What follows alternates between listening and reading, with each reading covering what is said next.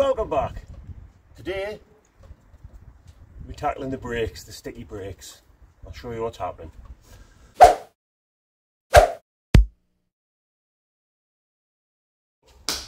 As I said in the intro, um, we're going to be tackling the brakes. So, the engine side of it now, as far as I'm aware, is mechanically sound. Obviously, when I give it a, a proper road test, once I'm back on the road with it, um, I will know whether there's anything else going to rear its head. Um, I'll be very surprised, I'll be honest, if I'm completely out of the woods, but up till now, as far as I can see, it looks pretty sound. So, engine side of it's all done. We need to deal with the stopping side now. Uh, obviously, camper vans are notorious for this, because they spend two or three months of the year driving around the country doing all lovely, beautiful, fantastic things, and then the other, the rest of the year, they basically spend parked up.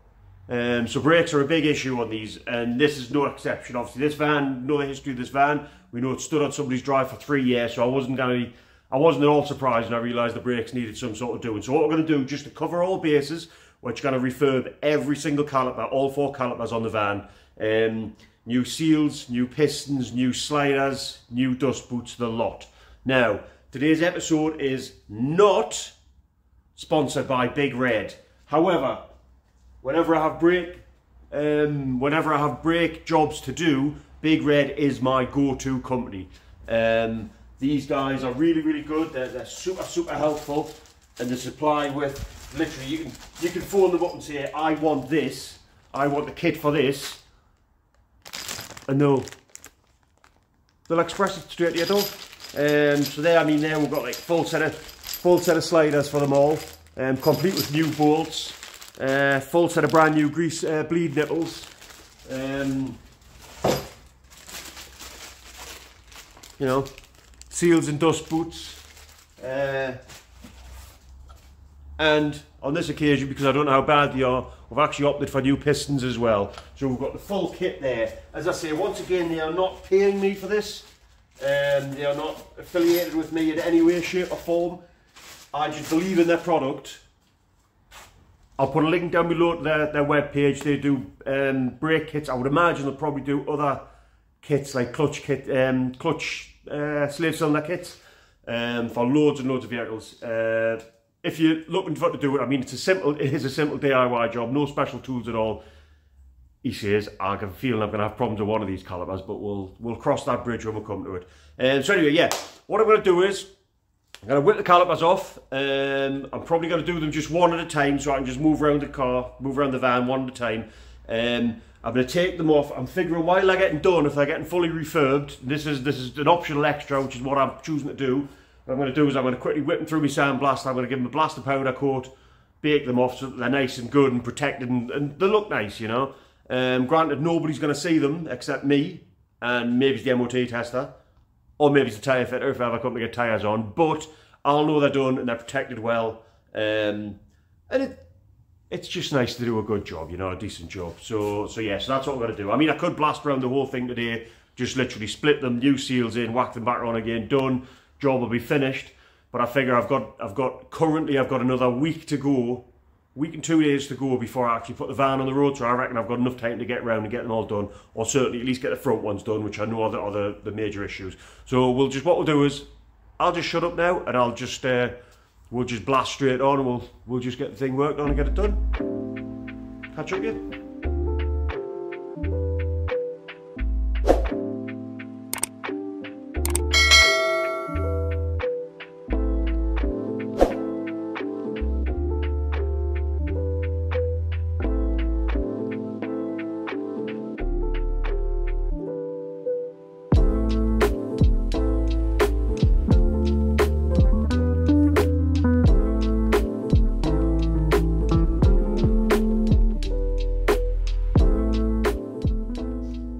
Caliper off. First caliper off. As I say, all I'm to do is just do one at a time. Um, so what happens is on these, it's not them that seized up. On this instance, it's actually the pistons themselves that seized up. Now, it's a twin piston jobby. Normally they've only got one um, one flexi hose going to them. And then it, it shares the chamber inside between the two pistons or pushes evenly. However, on this one, for whatever bizarre reason, you'll love the French, We've got two, which I'm presuming two flexi. So what I've had to do on the other side was, I've had to actually, because they're screwed in, I've had to physically take the flexis off the steel pipe so I can unscrew the flexi and then put the flexi back onto the steel pipes. I've clamped the flexi to stop all the fluid leaking out while I'm doing this job. On the second one, I couldn't undo it from the steel pipe. So all I've done is I've just took the caliper off. You've probably seen just screwed the, the, the caliper off the end of the flexi, but obviously I couldn't do that when there's two because the wires, the, the, the hoses would then twist together. So that's that done. I did intend on taking the caliper carriers off, the, piss, the, the pad carriers off, but as you might have seen in the video, um, that's my that's my Allen key bit. Um, it was a little bit tighter than it should have been. Well, a little bit tighter than I thought it could have been. So it snapped that. So I think what we're going to do, in the interest of just getting the job done, I'm going to leave them on. What I'm going to do next is I'm going to sandblast these and I'm going to powder coat them. I'm not going to video any of that because uh, this isn't a this isn't a, a episode about powder coating. This is literally just on the brakes. So what I'll do, so next time you see these brakes, they'll be powder coated. So yeah, so you see it's all looking a bit crusty. Um, yeah, I think they'll come up nice. Watch. There we go. So, happy with that with the exception of one small part of it, which is there. When I've been warming it up, it's obviously had a tiny little bit of fluid in there, which has obviously leaked out when I've getting it hot. But other than that, I mean, I'm happy enough with how happy enough with how that's turned out. So what we'll do now is we'll um, it's still a, I mean it's hot, it's cold enough to touch, but it's still pretty warm. I'll um, what I'll do is I'll uh, let it cool a little bit longer and uh, get on with the rebuild. And I'll show you the rebuild. Right. So what I'm going to do is, yeah, it's I think we're I say it's still a little bit warm, but it's not hot. So what I'm going to do is obviously we're going to pull pull out my two hanging bolts, which are UNF, in case anybody's wondering. Um, I can put the new bleed nipples straight in because they're not a problem. Pull these old seals off here. Push out the, the old sliders. I can't remember. I think there might be an O-ring inside there just to seal it. Um, if there is, I'll pick that out. I'll run. I've got a little Dremel with a tiny little like almost like a wire wheel brush inside. I'll run that up and down the inside, make sure that's nice and clean. And then um, grease everything back up and slide the new ones back in, put the new boots on. That'll be the sliders done. The calipers, the pistons themselves, what I'll do is I'll pop the airline down there and I'll just dump, hopefully blow the piston out with the, the seal, the, the dust guard. Um, hold on, yeah, we'll turn this over. Hopefully blow it out with the dust guard which I think, I'll be honest, I could probably rip the dust guard off anyway. Um, and the piston will have the seal on it, because there's the pistons there. You can see the groove there where the seal goes into. And then I'll, um, again, seal onto the pistons, grease them up, slide them back in again with the dust guard. We'll uh, we'll go through it. I'll video the process in time lapse because you don't need to you don't need to see this going slowly, step by step. It'll make for a very long video. Um, but yeah, we'll get stuck in, we'll get that done.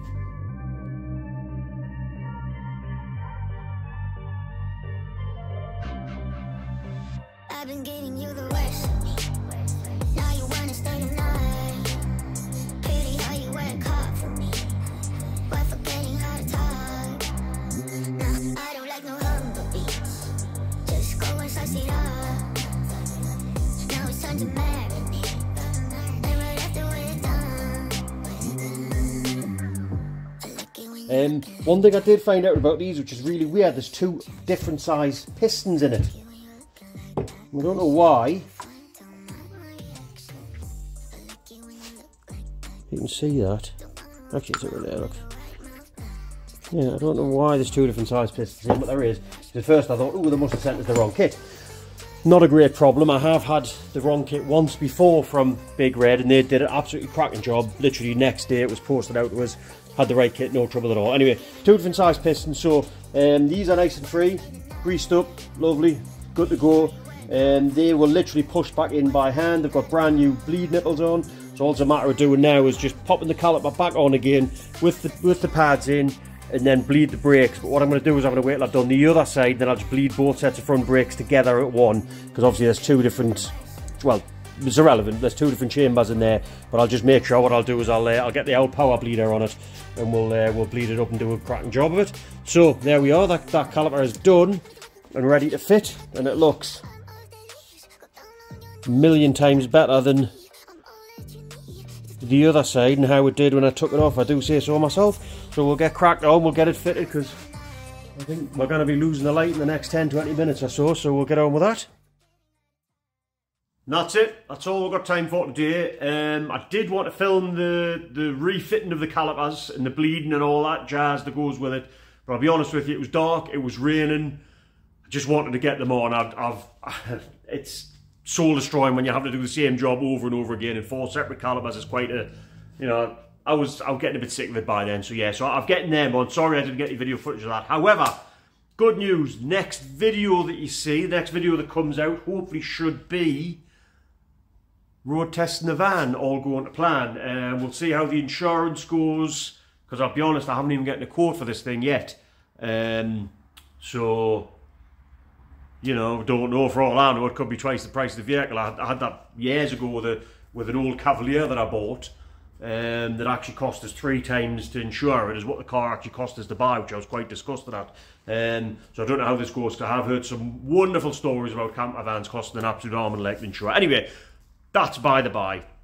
Uh, hopefully next video, as I say, we'll be road testing and seeing how it goes. See if there's any other little problems or issues rear their ugly little heads. Um, we'll see how that goes. Uh, yeah, so anyway, thank you very much for watching. If you've made it through this far, sorry this video's been very skitsy. I've been doing it over the space of two or three weeks. Um, I'll try and put it together and edit and as best I can to make as much sense as possible. Um, but, you know, it is what it is. Um, as I say, the, the brakes are on, the brakes are bred. I've, I've ran them in the yard, they feel all right. A little bit of sponginess still there. What I'll do is I'll leave it a day or two to settle, get any little tiny air bubbles out of the lines. Because um, what will happen is them little tiny air bubbles will eventually accumulate into bigger air bubbles. And then I'll just give it one last final bleed through in a couple of days' time once it's, it's sat for a little while. And um, just see if we can bring that pedal back up. Uh, so yeah, thank you very much for watching.